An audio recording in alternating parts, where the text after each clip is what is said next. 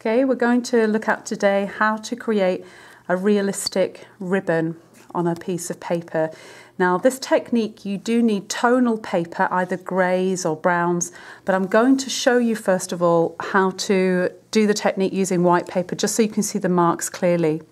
You need two pencils, ideally if you can hold them with about an inch in between, that's great. If you're really struggling to, to hold them in that position, one thing you can do is we can actually tape uh, the pencils together. So let me know if you're struggling with that.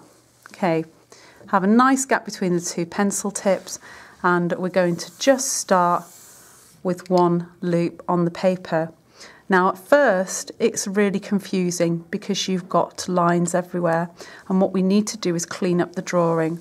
So, we're going to imagine that this is the flat ribbon coming up, under, and then over the top. So, we need to show that. Where you have a cross, you've got a little bit of work to do. We are going to draw a line to make the triangle there, and the same on this side. That then, hopefully you can see that curve a little bit more clearly. We need to rub out one of these lines.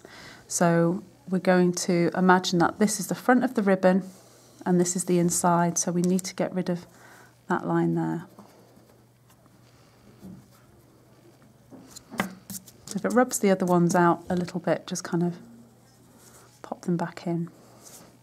Okay, so the ribbon comes up, around, and down. So again, we've got some more rubbing out. We're going to rub out that line.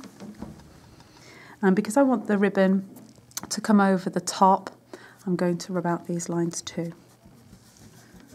So we've got to clean up